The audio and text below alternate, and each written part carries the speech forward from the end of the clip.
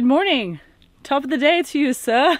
I don't know why I wanted to say that, but we are out in our high tunnel picking our tomatillos or tomatillas, however you may pronounce it. We are making gorgeous green salsa, and this is the first and the most important main ingredient. So we're out here picking a whole bunch of these today. They always do really fabulous here in Alaska. I am not sure why they're in our high tunnel and they usually just soar. They get about eight feet tall. We prune them near the end of the season and that way they will actually fill out because you want them to be ripe when you go to pick them and we just barely have long enough of a season. If you're not familiar with these, they kind of look like a tomato, but they don't taste at all like a tomato. They're more kind of citrus. I don't know how to explain it. They're more acidic and they have they have a really really nice flavor in my opinion. These are two a little bit smaller. We're going green, purple, yellow, and I believe another variety right on the end here. This was a strange year. We had some seriously hot weather at the beginning of the summer and then it switched to a cooler summer, but we still have yet to have our hard frost and we are in October. So that has made this season for these plants really good. And unfortunately, I have been a neglectful gardener and I have not got in here and done some pruning like I needed to. So I am finding just a teeny tiny bit of rot, but that's okay. The rest of them are good and we're in here now and we've got to get them all harvested.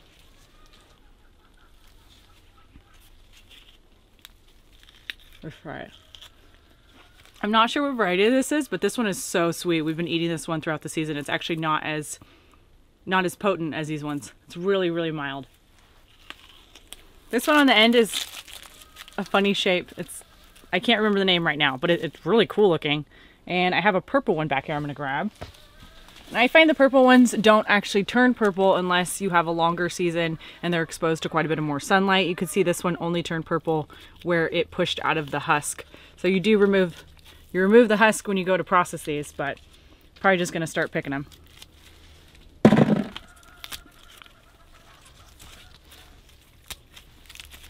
These plants grow super well. There is really nothing special that we do on our part.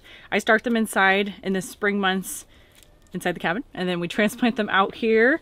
And we just use a lot of compost manure specifically and we put some all-purpose fertilizer. I put some organic like nitrogen and also phosphorus or bone meal to kind of help with the flowering process and these just grow. They grow really really well. Wow look how yellow those are.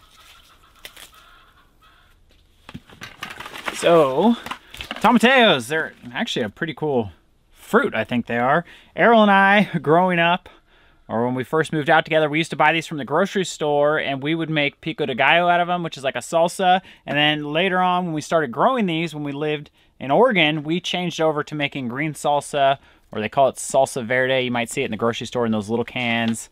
And green salsa is the best. I like it a lot more than red salsa. I think it's because of these tomatillos. They give it a really awesome flavor, and it's my go-to topping. So we're going to have a lot this year. Tomatillos did great. That one didn't do great.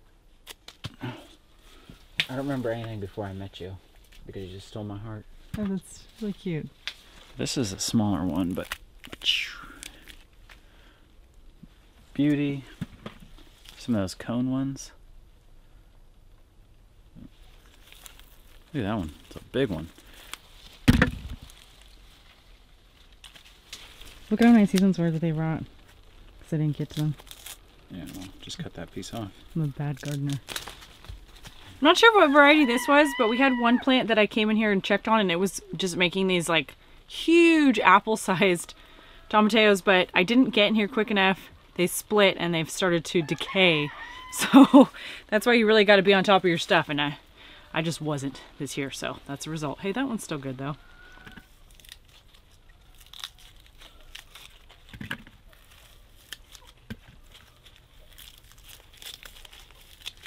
We finished up, we harvested 10 gallons, which is awesome, and it's time to make some salsa.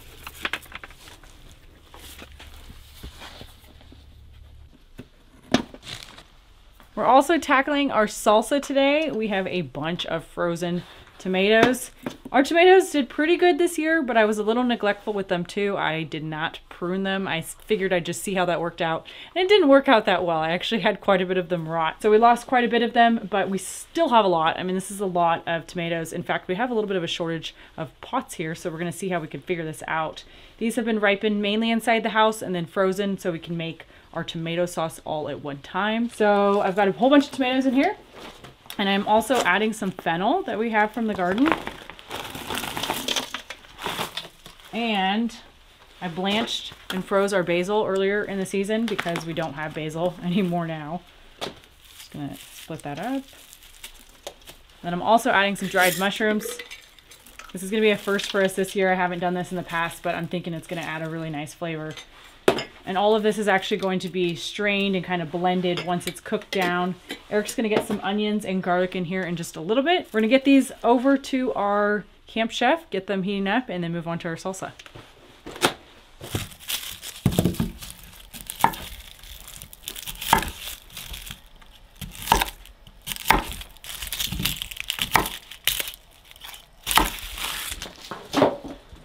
Can start on our salsa here, and a couple years ago we started roasting it. It's kind of roasting. We're not doing the oven. All we're doing is using hot cast iron skillets, and we're throwing the ingredients in there, and we're kind of browning them before we cook them down and blend them for our salsa. So that's what we're gonna do again this year. We're starting with the onions. We got garlic. We got jalapenos, cilantro. It's gonna be a good salsa batch this year.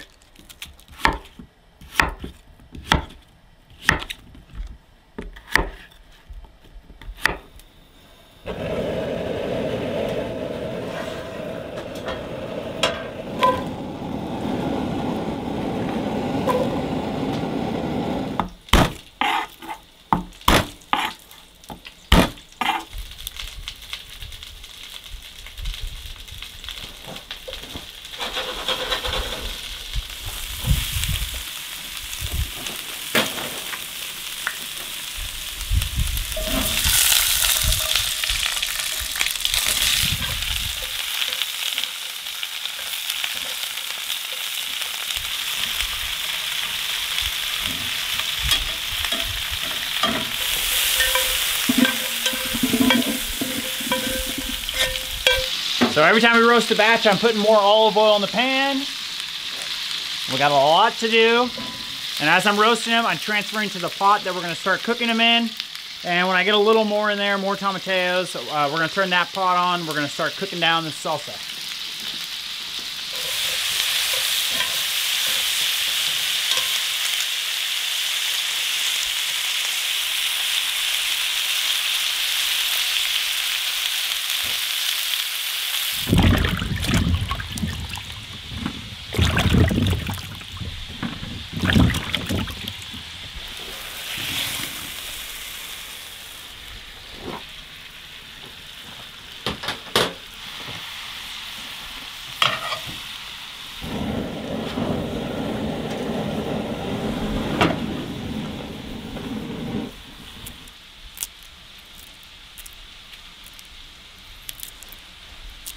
Our salsa is coming along nicely, but these onions are definitely challenging to peel. I'm trying to not waste that outer layer.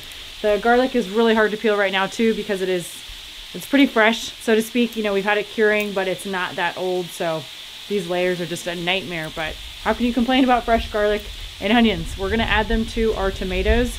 I see they've shrunken down and we can add more to the pots over there.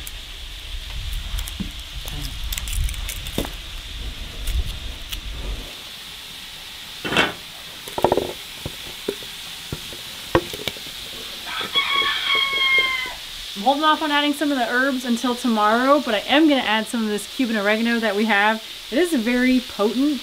I believe it's a zone 11 plant, so I actually can't overwinter it here.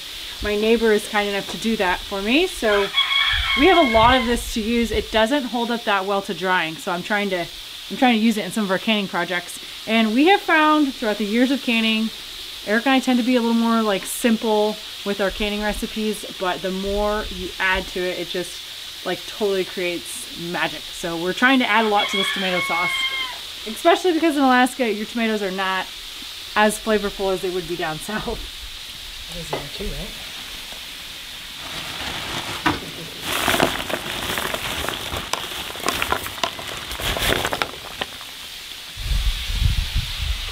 I forgot to show you the sound that these make when they're frozen. I don't know why, but I think it's it's pretty funny. They're like as hard as a rock. Part of me thinks that a tomato should probably never be frozen, but it's just what we have to do.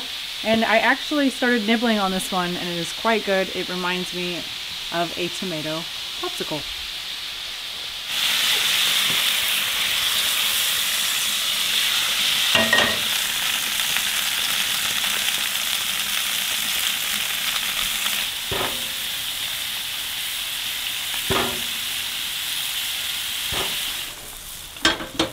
Well, we just learned that 10 gallons of tomatillos takes an extremely long time to roast.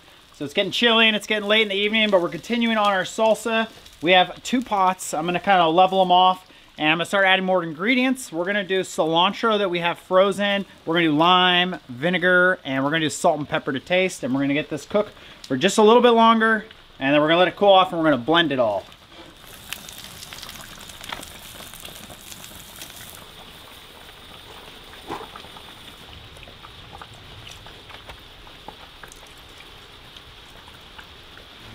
All right, we are combining pots here, and then we're gonna push the pause button for tonight. We need this liquid to cool significantly before tomorrow, as well as the salsa before we can actually proceed with canning it, so. Ooh, this is really heavy. I'm gonna see if I can pour this in here. Yeah, there we go. I'm gonna let this go for just a tad bit longer. I'm trying to get a lot of that moisture off so we don't have too watery of a tomato sauce, and we'll see you tomorrow morning.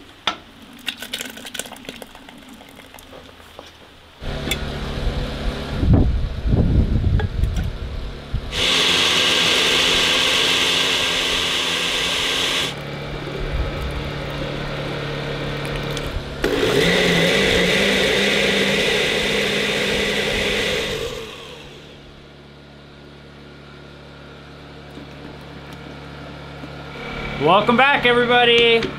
We have a storm blowing out there, but we got work to do, so we're blending the salsa, and this is like the fun part. We're blending it, it's turning out beautiful. You don't really have to blend it for too long since all the ingredients are already really soft.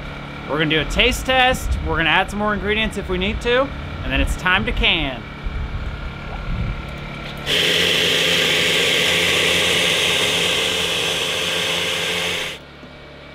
You spilt a little. Well,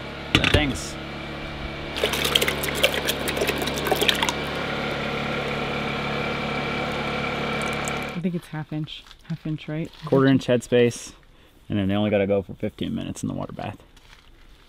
Ready to can? Let's can. It smells like a very good Mexican restaurant out here, and that's impressive considering we're in Alaska. But we've already taste tested this salsa, and it's good. It honestly tastes exactly like the little cans you would buy from the grocery store, which I'm definitely okay with. Last year, I don't think we used lime. This year we did. Turned out good, so we got these heating up. They're not simmering or anything like that. They're just hot, and we're gonna put them in pints. Doing a lot of salsa this year.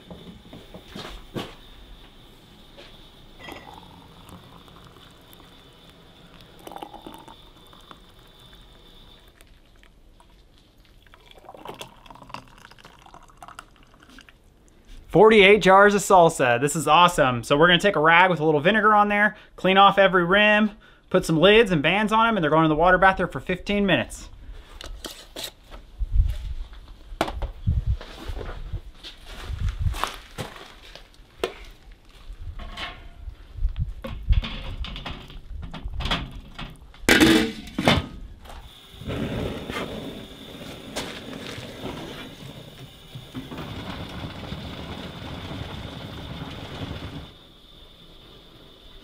We're moving right along to our tomato sauce. It has sufficiently cooled. There's still a lot of moisture in there because Eric and I do not grow all canning tomatoes or Roma tomatoes. It's only about half of what we grow. So there's a lot of moisture that we have to evaporate off, but we're gonna run it through this strainer. This is a Cabela's meat grinder. We've had it for years and a long time ago we bought the strainer, the strainer attachment so you can do applesauce, like pumpkin, berries, all sorts of cool cool things. I don't even think it's honestly for sale anymore, but we're still using it. That's how we're gonna be making our tomato sauce. The sauce is gonna end up in the first bowl. I'm gonna pour everything down this hopper and then these skins and extra things are gonna come out here and we have some plans for that. Okay, here we go.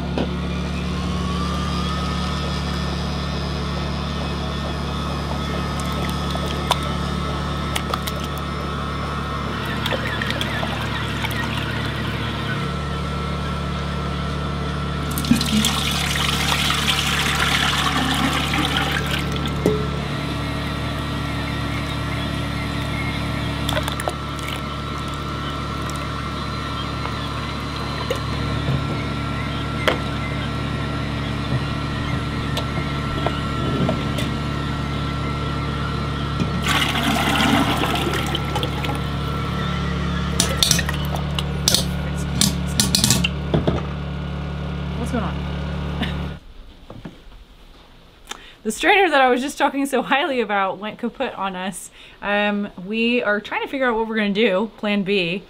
That strainer, uh, that uh, machine that we've had, we've had it for probably close to like eight years and it's done quite a bit of meat and, and a lot of uh, other things. So I think what happened was there was a little washer and it got some of the tomato juice down in the machine. We heard it sparking. That's never happened before, so I'm not sure if it's still working or not. So plan B, I think, is we're gonna be using our blender. With the remains, what I usually do is I'll strain them again through the machine. And then what you end up with is just this stuff and it's very dry. Sometimes I give it to the chickens. Another thing that I usually do is I will actually add water and cook them down quite a bit longer to extract more flavor because the peels have a lot of flavor in them. But this year I'm gonna try something totally different. I'm actually gonna cook what I have remaining right now with just a little bit of olive oil in a pot, get it really warm and bubbly, and then we're gonna try and blend it and add it to our tomato sauce to help be like a thickener to it. So we'll see how it goes. I haven't tried it before. We've got our tomato sauce heating up as well as the mixture that we were not able to strain. Eric tied up these awesome little bundles for us of oregano and thyme.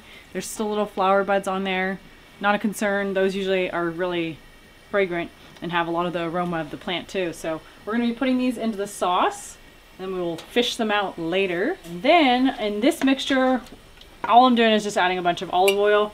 I have seen folks make tomato powder, concentrated tomato sauce from the peels, and I've never tried that, but I'm, I'm kind of excited about this and I think I think it's gonna work and add as a really good thickener.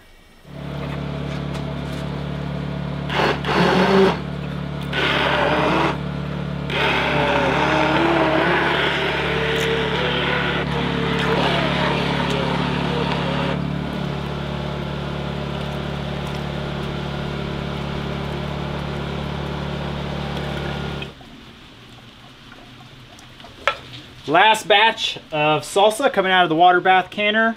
We're switching over the pressure canners. We're doing tomato sauce. Look at that beauty.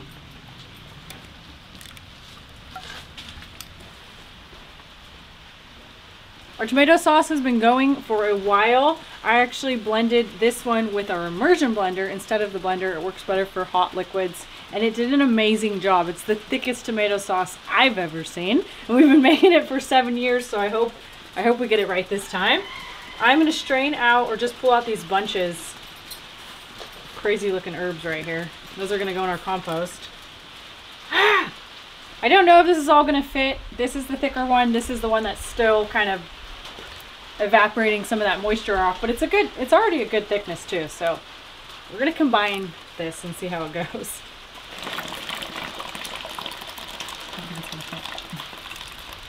Okay, plan B, that didn't work.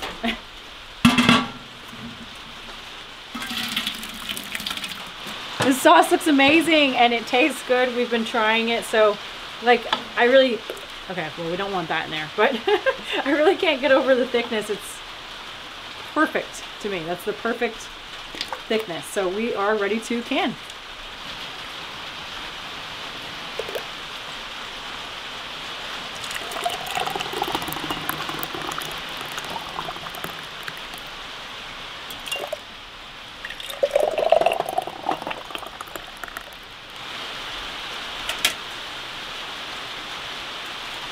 We have both of our pressure canners completely full. Eric and I are pressure canning this pasta sauce. That's really what it is more. I use the term tomato sauce, but it's honestly more like a pasta sauce because we added so many other ingredients. You can water bath it. We water bath it all the time. You do have to run it for a little bit longer of a time when you pressure can it.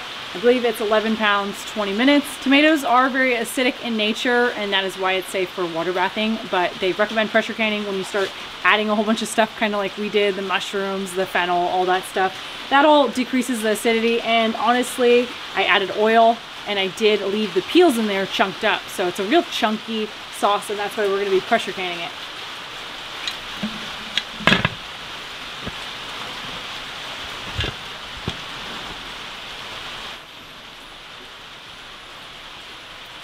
That is a beautiful pint of tomato sauce.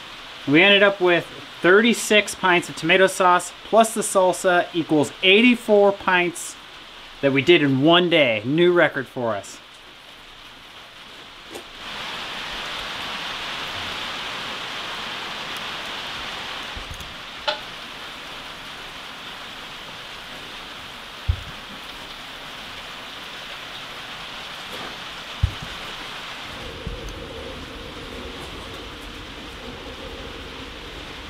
This is two days of hard work and it is amazing.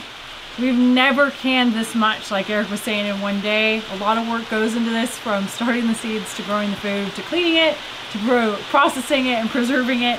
Um, but this is awesome. In fact, last year we were fortunate enough to have a little bit of carryover. That never happens, ever, with tomato sauce. We've never had extra from a whole year. Same thing with our salsa. And we actually have one little jar of salsa, green salsa from last year. And I have four tomato sauces left, which is just amazing. A lot of the times when we're preserving, we are only doing enough for like a year or a little bit under. Sometimes you have abundance and it carries over, which is just I, I, don't know why I can't say it enough, but it's just incredible. Now for the most challenging part, we have to find room in our cabin for all of this. So that's gonna be a struggle for sure. We hope you guys enjoyed this video and I'm gonna start bringing these inside.